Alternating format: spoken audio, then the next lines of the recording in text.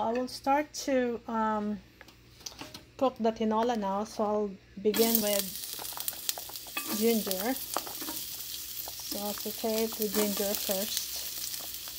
The tinola consists of um, ginger, garlic, onions, chicken, sayote or chayote in, in Spanish, and um, putting it, um, putting some uh, bell pepper, red bell pepper on my version. Mm -hmm. Or else you don't have to.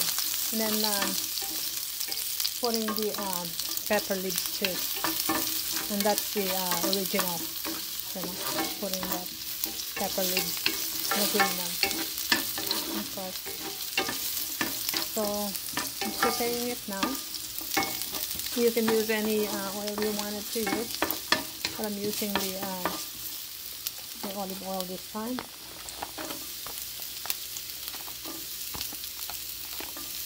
There's some news about olive oil, but I still use it anyway. They said you can use it when you saute something, but I use it.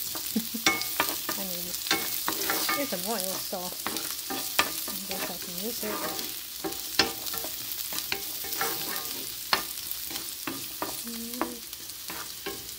So, um,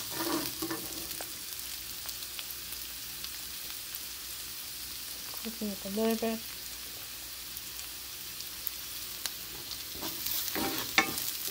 garlic a little bit toasty. I want the garlic a little bit toasty. And just uh, lower the heat a little bit.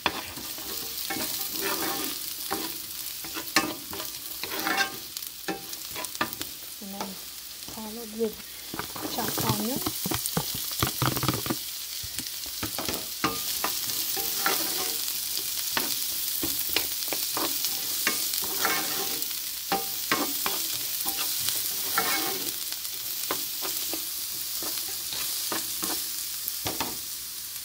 Then just um, a teaspoon of fish sauce. You don't have to put it if you don't want it, but this is the uh, normal Filipino way of doing it.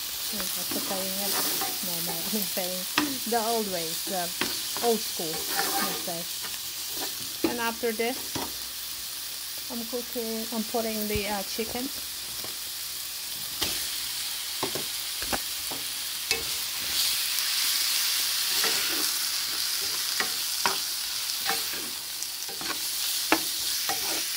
So I will cover it first and let it cook a little bit and then I will follow, I mean I will put the um, chayote after that.